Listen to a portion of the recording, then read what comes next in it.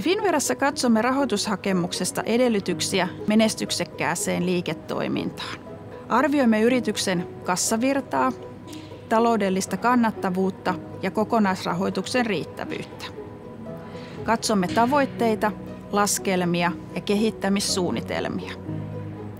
Arvioimme lisäksi yrittäjän osaamista suunniteltuun liiketoimintaan.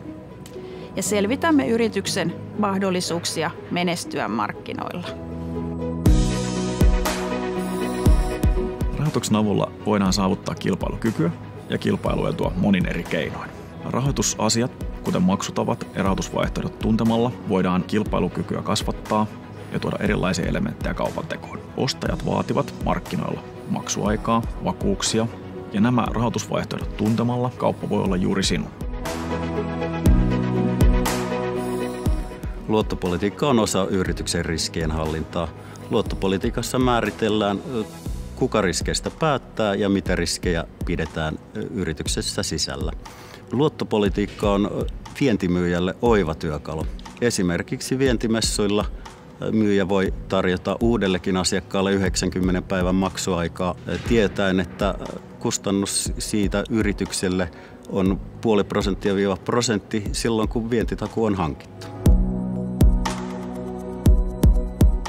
Luottotappiot on iso riski. Ne kannattaa välttää.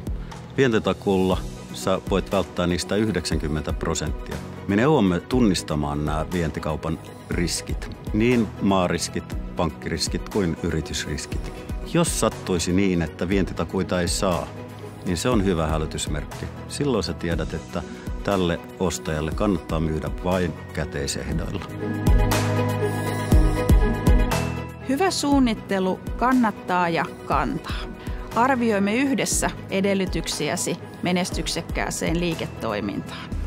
Me mielellään Team Finland toimijoina ohjaamme oikeiden palveluiden piiriin Suomessa ja maailmalla.